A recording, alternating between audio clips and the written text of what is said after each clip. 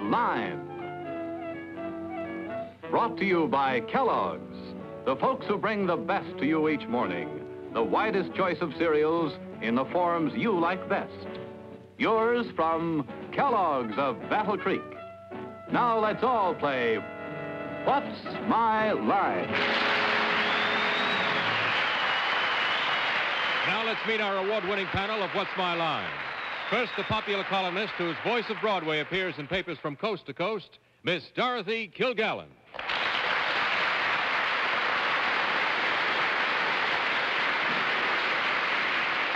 Thank you, ladies and gentlemen. And now I'm very happy to introduce someone we're always very glad to see on this panel. He's a friend of all of us and a relative by marriage of Arlene's, Martin Gabel.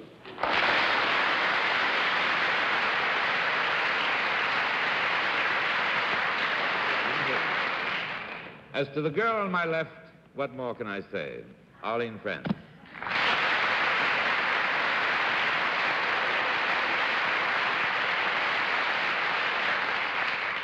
You can say more, you're just shy. And now, the compiler of all those amusing, amusing anecdotes in this week's magazine, Mr. Bennett Cerf.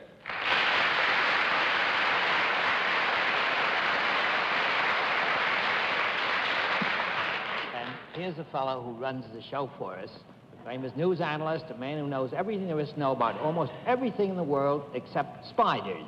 Mr. John Daly.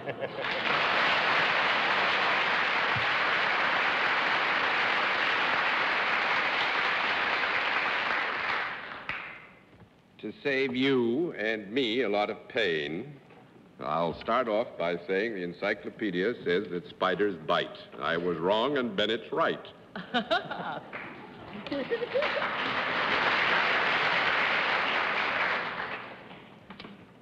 Happy, Bennett? Thank you, John. Yes, I knew you'd be happy. Now I get even in the next 30 minutes. It's a wonderful prospect. And we'll also have a famous mystery guest before my friends on the panel a little bit later in the show. We'll meet our first challenger after this. And now let's meet our first challenger. Will you come in and sign in, please?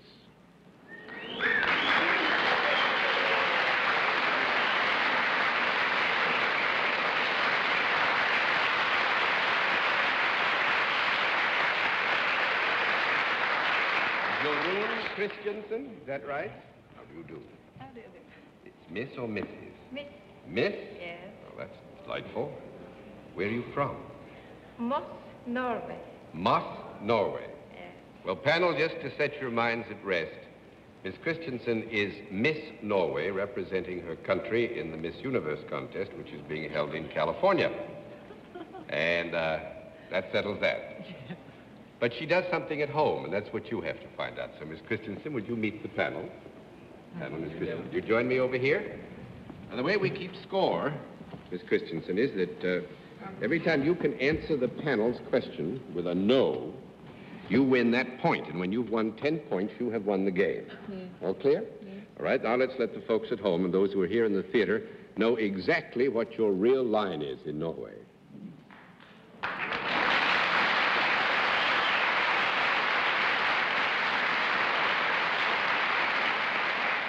All right, Miss Christensen panel is salaried, and let's begin the general questioning with Bennett Cerf. Miss Christensen, as far as I'm concerned, the Miss Universe contest has already been decided. No. Uh, does the work that you do, Miss Christensen, is it done in Norway? Yes. Uh, is it work that makes some use of your beauty or physical perfection? No. One down and nine to go, Miss Kilgallen. Miss Christensen, I want to get one uh, uh, yes at least this evening. Uh, you have just met Mr. Cerf. Could he enjoy what you do at home? Certainly could. Uh, well, let me put it this way. I think we would have to begin with the premises. Anything that Miss Christensen did with respect to Mr. Cerf, he would find some pleasure in. Uh, the end result here would certainly, I think, uh, require the judgment that he would benefit from Miss Christensen's services, and therefore we give you a yes. Thank you. That's what I was hoping for. Uh, do you work for a profit-making organization? You Yes. work for a profit-making. Yes. is there any product involved in what you do? No. Well, now, with your permission, let me have a small conference.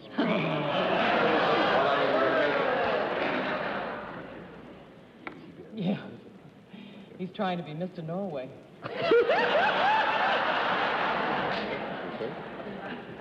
Now, I think Miss Christensen agrees that since as a part of her work there is a product which tends to come from her particular abilities, we'll agree there is a product, here.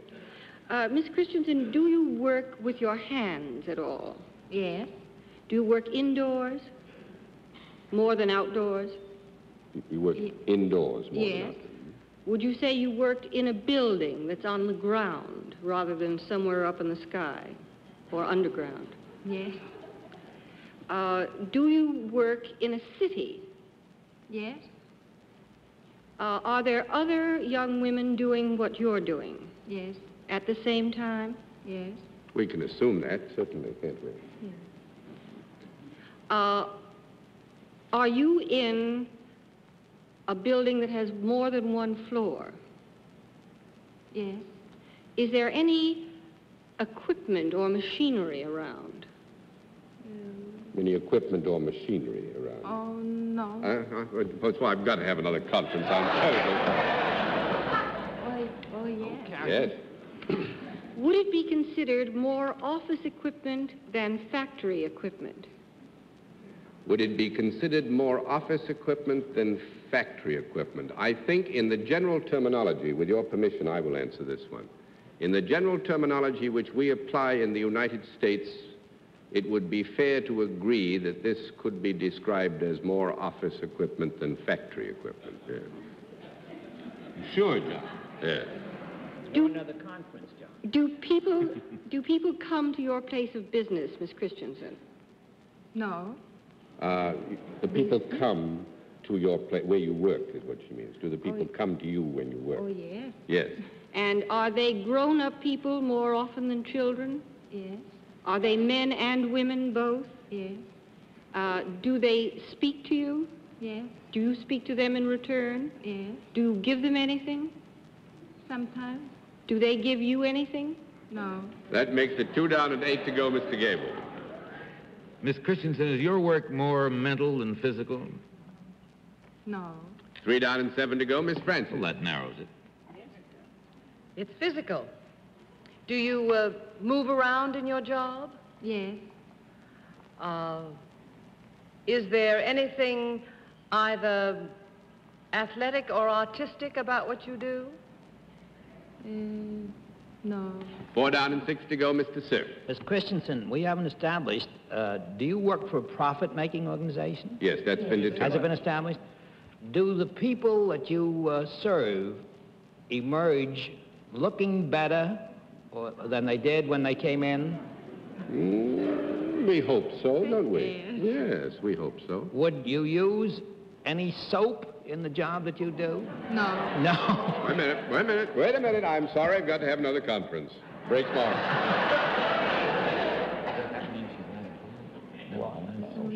Yes, yes. Actually, but we'd like to change that answer. There is some soap soap? used, yes. And might you be found in either a barber shop or a beauty parlor doing your work? No. No? Five down and five to go. I'm going to give you one more minute because you're not coming close to this. Do you deal with people more than animals? yeah. Uh, when do you do you touch them physically? Sometimes. Uh, when you touch them, do you use anything? No. Wait a minute, small conference. I didn't finish my question. Why don't they just go off together? Okay. Miss Christensen and I agree Oh, that's nice. that um, there is an occasion when she does, in the contact that is sometimes required in the rendering of the service, use something that uh, is applied to the individual. To the person. Yes.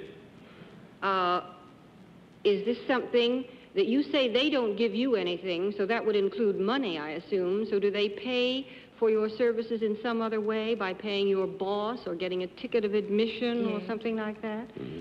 Do they pay before they get in? No. Nope. No, you're not. I'm going to flip all Oh, the boards. let me guess. All right, one guess. Does she have anything to do with nursing? Getting close. I flipped all the cards, All so right. take a next guess. No, I was going to ask if she was either a nurse or an assistant. Well, actually, she is a dental nurse. That's Dental why I said you get very good. Very good, Arlie.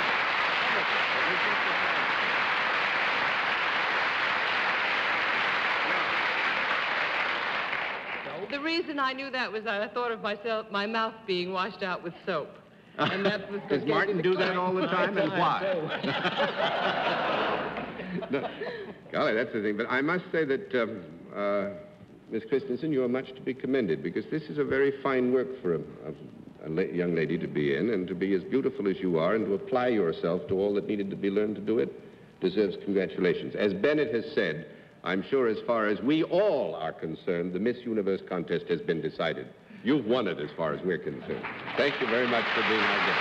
Wonderful to have you back.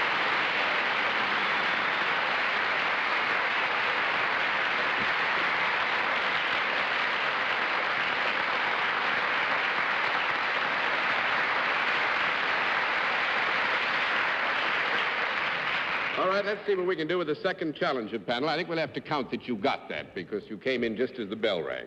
Our next challenger, come in and sign in, please.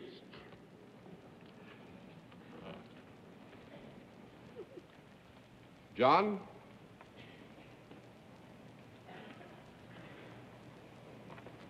John Bentler, right, sir?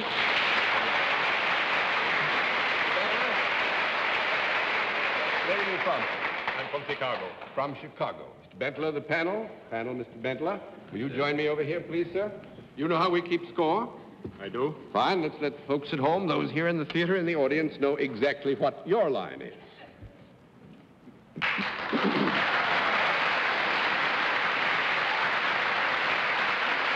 right, panel. Mr. Bentler is self-employed, and let's begin the general questioning with Arlene Francis. Mr. Bentler, I have a feeling that your work is rather serious, is it? One down and nine to go, Mr. Cerf. Mr. Bentler, do you use your physical attributes in the work that you do? To some? To some extent, Bennett. We all do to some extent. It's not. Yes. um, But would you, uh, could you describe the work that you do as more physical than mental? Yes. Uh, when you do the work, uh, are you dressed in something less than you are wearing now? Yes. Something less? No, Let me have a small meeting about this. Ah, fine. Good. All right. Yes, we'll let that stand. Might it be, uh, might the attire include any kind of athletic equipment? No. No. Two down and eight to go, Miss Kilgallen. Is there anything diverting, uh, amusing about what you do? No. Well, with your permission, sir, I would, I would say this, that a description of what Mr. Bentler does might be considered amusing by some people who heard about it. Would you agree with that? All right. Yeah, as an interesting area of occupation. But may I assume from your answer, Mr. Bentler, that people do not pay admission to see you perform in an arena or a theater? That's right. Uh, they would merely find it funny or diverting if they heard about it from someone else or from you. Is that That's the the position you're taking? Uh, do you work indoors? Yes. Uh, do you work with other people or things? Yes. Do you work with animals? No. Three down and seven to go, Mr. Gabel. You work with things rather than people? Yes. Uh, are those things in the world of, say, uh, insects or? No. No, you're on a sticky wicket. Four down and six to go, Miss Francis. Now, Mr. Bentley, you say your work isn't serious, and on the other hand, it isn't entertaining. No, let, let, me try to put this in, in phase again, Miss Arlene. To Mr. Bentler, I'm sure his work is serious because this is how he makes his living. If you were told as a layman what it is that Mr. Bentler does, you might find it a bit amusing or diverting or interesting uh-huh. because of the particular character of what he does. I see. I would like to say at this moment, John, that I notice you haven't had any conferences with Mr. Bentler.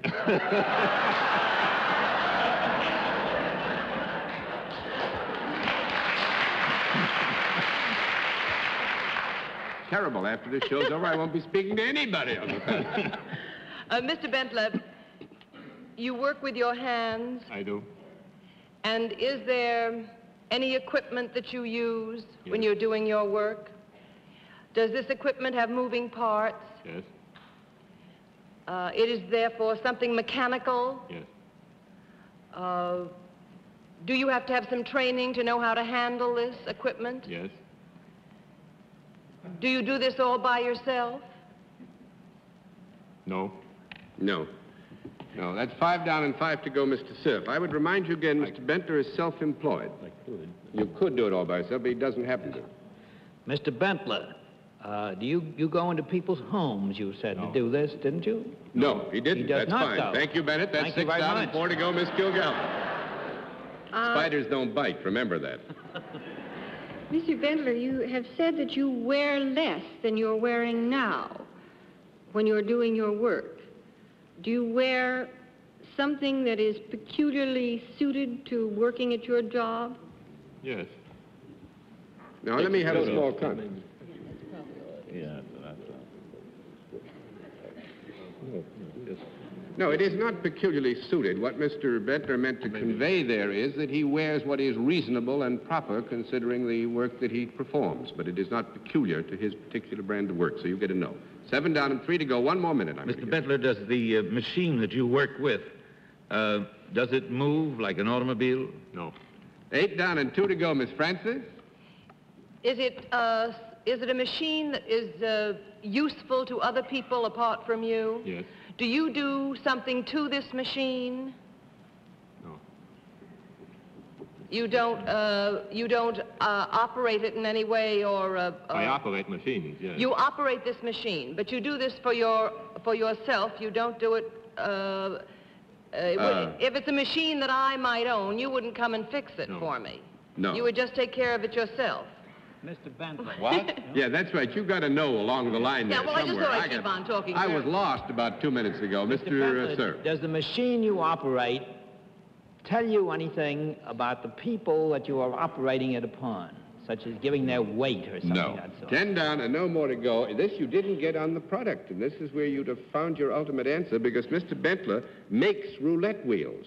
Oh.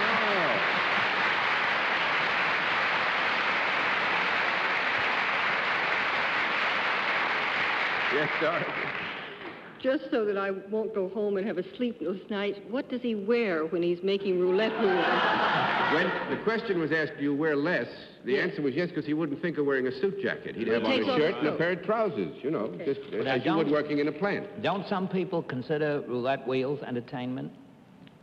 Oh, but I don't think the making of them is entertainment, no. No, the, the machinery he the works with of is the machinery that makes He the makes roulette them. wheels, and you never got to the roulette wheels and spiders bite. You see, it's as simple as that. That's Mr. Bentler's firm, by the way. question? Yeah. Uh, Mr. Bentler, is it possible to fix a roulette wheel? I believe you've had 10, 10 no's. I don't think you have any. Well, that's my answer. Now, actually, uh, I'm sure Mr. Bentler will agree that if somebody set out deliberately to, to fix almost anything, you could fix an automobile so it would run badly. But uh, Mr. Bentler has been in business, and your father before you, I believe, for 29 years. Yes, And they, 29 years. they have uh, conducted this business. What's the best number on the wheel, Mr. Bentler? The winning number. Very good, Mr. Bentler.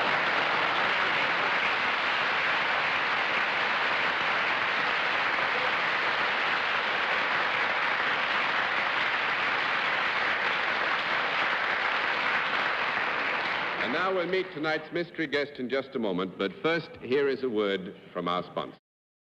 We come to the special feature of our program, the appearance of our mystery celebrity, for which my friends on the panel are blindfolded. Blindfolds all in place, panel? Mm-hmm. Yes, John. Good. Will you come in, mystery challenger, and sign in, please?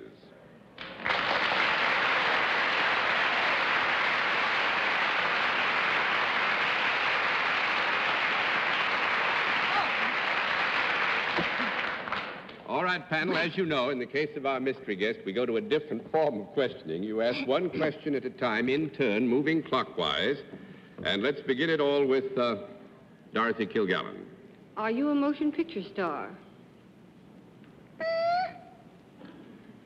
Mr. Gabel, that's a yes. That's a yes. Yes. Mm-hmm. Have you a picture opening in New York in the next week or two? One down and nine to go, Miss Francis. Have you also appeared in the theater? That's yes, Mr. Cerf. Uh, does the uh, does your art include any kind of musical work? That's yes, too, Miss Kilgallen. Uh, are you a singer with hit records?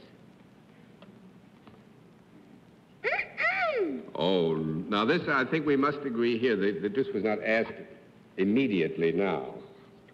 Yes. But that it was not asked, what you, No, I Dorothy... mean a, a, a singer of, of popular songs whom we would know as someone who has been on the jukeboxes.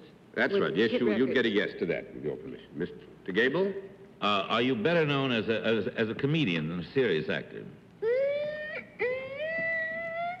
Two down and eight to go, Miss Francis. Oh. Well, then uh, you are primarily known as a singer?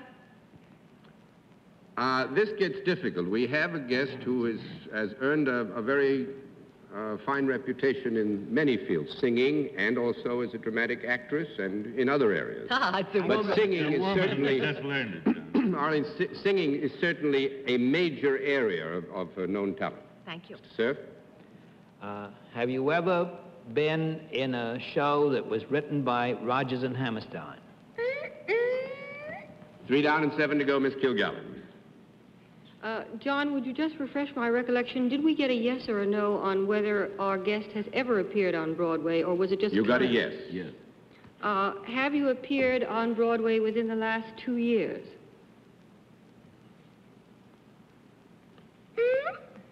Yes. Was it in a musical show? Yes.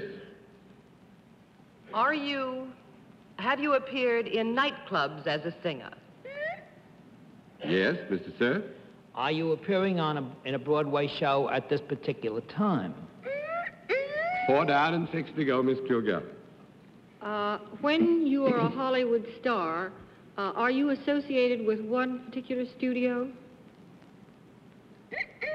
Five down and five to go, Mr. Gabel. Have you a movie now playing on Broadway? Six down and four to go, Miss Francis. Uh. Nightclubs, records, Movies. movies. Millionaire. um, do you give concerts?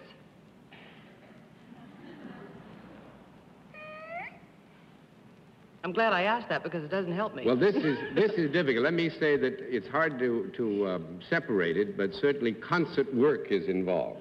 Agreed, Mr. Cerf. Have you ever been a pin-up girl?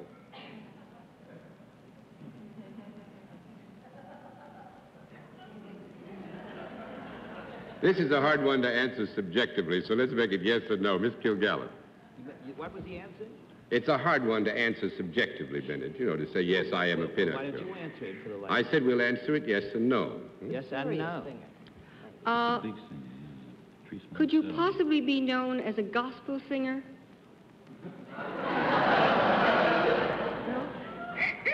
Seven down and three to go, Mr. Gabel. Uh, have you ever sung an opera?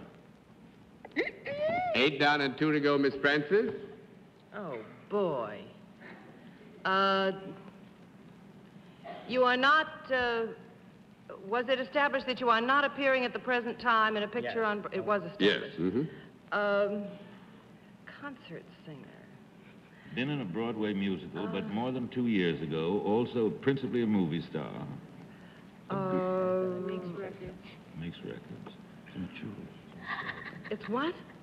Could we have I'm- a conference one no, minute? We I'm have- going to throw the towel on you because I'm running out of time. Take your masks off, panel, and meet. Ah, for the first time, Eartha I Kitt. fooled you.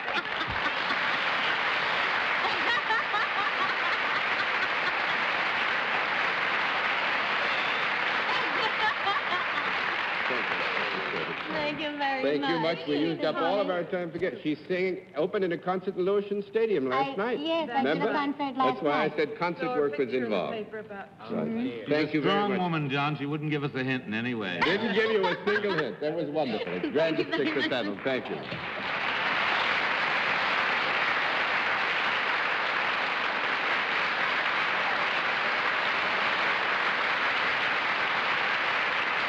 We'll be back after this word from our alternate sponsor. And so, good night, Dorothy Kilgallen. Good night, John. Good night, Martin. Night, Dorothy. Arlene. Good morning. Good night, Bennett. I'll see you with Miss Norway. Good night, John.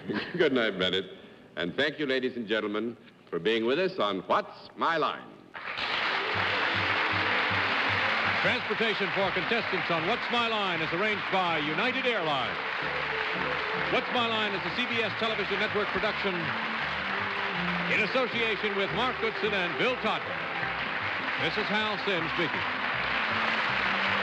This is George DeWitt, inviting you to join us for Name That Tune tomorrow night on most of these stations.